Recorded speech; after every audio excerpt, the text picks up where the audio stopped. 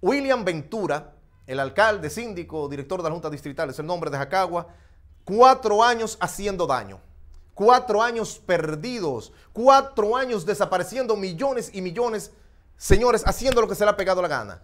Abel Martínez va a ganar de calle por aquí por encima del 60%.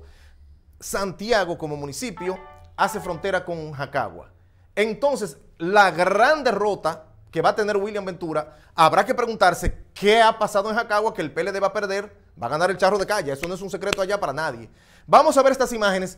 Déjame el micrófono abierto, Julio, para que ustedes vean qué desastre, qué vergüenza ha sido William Ventura, el candidato del Partido de la Liberación Dominicana para Jacagua. Vamos a ver. Miren cómo está en la calle, la calle de Jacagua. William hizo la caminata y dijo que la iba a mandar a arreglar el lunes siguiente. Miren, cada vez que llueve, siempre pasa esto, siempre uno da azar. Saquen a William de ahí, que él no sirve y no sirve.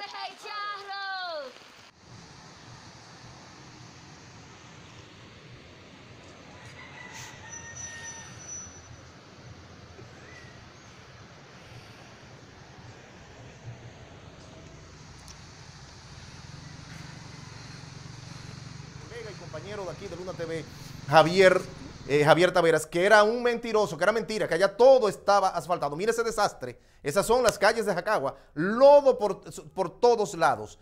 Incluso, señoras y señores, hay un video donde él dice claramente que por qué iba a asfaltar si no le habían dado dinero para asfaltar las calles. Entonces, ¿a dónde fue el dinero del asfaltado? ¿Por qué había, tenía William Ventura que pedir dinero para asfaltar? Mire ese desastre permitiendo encima de contenes. Mire la basura en Jacagua. Eso es ahí, al lado de Santiago, donde Abel pone a Santiago a brillar. William Ventura se ha convertido en una vergüenza pública para Jacagua. Miren, señoras y señores, el síndico de Jacagua que tiene ese desastre urbano, ese desastre de salud, ese desastre de basura en Jacagua, es el que está todavía aspirando a las elecciones para el próximo domingo. Miren eso, es un desastre absoluto. Y miren, esa es la entrada por ahí, bajando por la planta de Terragás Los Cocos. Cuatro años para asfaltar. Miren, siete millones entre una de las tantas hojas de corrupción.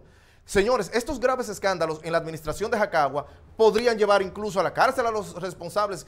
¿Qué explicación le va a dar William Ventura a las próximas autoridades que van a tomar, eh, bueno, pues las riendas de la administración de San Francisco de Jacagua a partir del 16 de agosto sobre la desaparición de todos estos millones de pesos que están establecidos de manera formal, se han desaparecido bajo su administración. ¿Acaso la, próxima administración que se perfila será, eh, bueno, pues comandada por Miguel Ferrer el Charro, va a tener esto del borrón y cuenta nueva o va a someter a la justicia y va a obligar a que todos estos millones desaparecidos en la administración de William Ventura del PLD en Jacagua se queden como dinero perdido.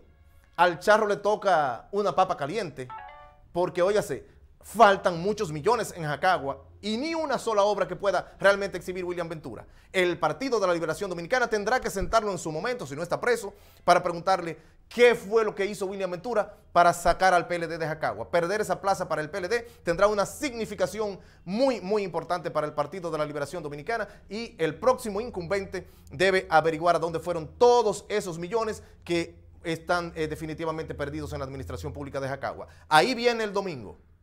Simple y sencillamente, todo indica que William Ventura y el PLD en Jacagua van a recibir el más vergonzoso voto de castigo porque van a estar sembrando o van a estar cosechando todo el daño, todo el mal y toda la prepotencia que durante casi cuatro años han sembrado.